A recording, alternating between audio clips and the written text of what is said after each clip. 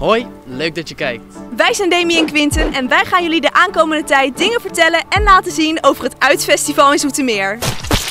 Ja, want voorgaande jaren was het festival hier een paar dagen bij het Stadstheater en op het Cadenzaplein. Maar dit jaar is het anders. De verschillende culturele activiteiten en voorstellingen vinden dit jaar verspreid plaats over verschillende locaties in Zoetermeer. Plus, het festival duurt nu een hele maand lang. Zo kan je dus de hele maand september genieten van cultuur. Het festival is voor iedereen toegankelijk en gratis of soms voor een heel klein tarief. In de week van 17 augustus komt het hele programma online uitfestivalzoetermeer.nl. Dus we moeten nog even geduld hebben. Wij gaan jullie de aankomende weken op de hoogte houden van alle nieuwtjes en feiten van het Uitfestival.